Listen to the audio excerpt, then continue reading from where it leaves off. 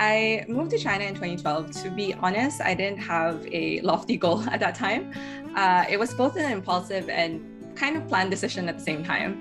On one hand, you know, as an overseas Chinese, I've always felt like a genuine connection and curiosity towards China. And, on the other hand, you know, with my professional hat on, I, I knew that immersing myself in China's thriving business environment would be a good career exercise.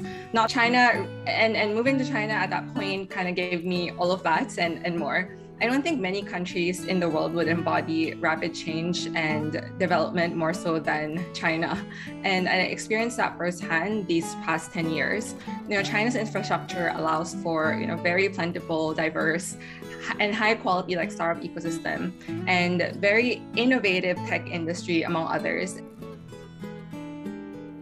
essentially is a global platform committed to closing the funding gap for women. A lot of women uh, who were entrepreneurs working in tech and facing many, many challenges as they kind of go on their journeys. And so we really wanted to create like, again, like a stage and, and a, a competition really um, to, to be able to showcase and spotlight them and to, to give, you know, them the visibility that they deserve.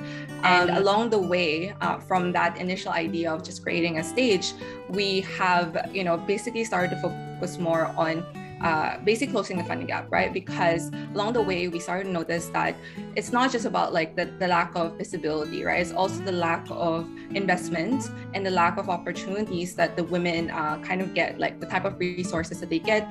Um, if if, if you are aware, uh, you know, that obviously there's there's a lot there's a lack of participation of women in tech. But actually, a larger problem it's a lack of investment that goes into women in tech.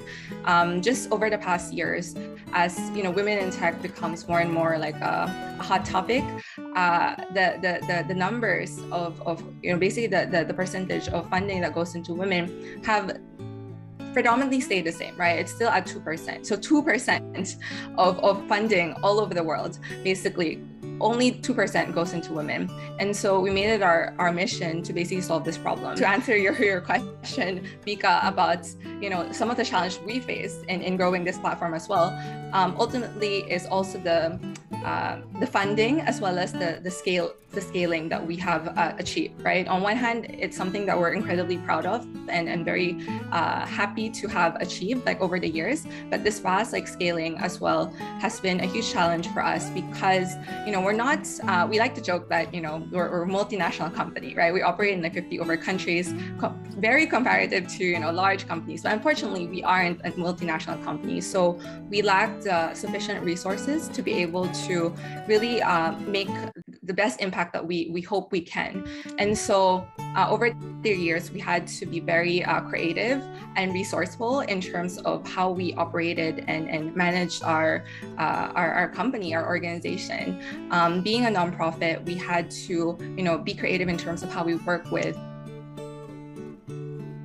You don't think about it, right? And if you think about what the worst thing that can happen, actually you realize that oh, actually it's not it's not a big thing right? it's nothing it, it, won't kill you basically and and after kind of asking myself that question every time I, am faced with a challenge or suddenly i feel fearful or you know just anxious about something then you know everything kind of is put into perspective and i managed to kind of persist and continue with uh, what i want to do but one thing i would say that dramatically changed the way that I live, uh, work, and just how I view myself like over the years is basically asking myself the question, what is the worst thing that could happen? Um, and I've always been a perfectionist, but somehow I don't know. I, I don't know what tri- what what triggered me, but like somehow you know I, I managed to kind of following what um, you know echoing what Kala said, right? Like little steps, um, or just persistence, right? Um, with that uh, mindset, I've always asked myself, you know, what is the worst thing that can happen? Like, you know, there's there's nothing to fear really.